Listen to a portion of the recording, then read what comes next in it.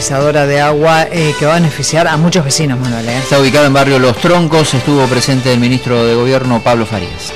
Nosotros hoy estamos muy contentos eh, con la satisfacción de haber logrado eh, un objetivo planteado y que, responde a un pedido de muchos vecinos, de muchas instituciones aquí del norte de la ciudad.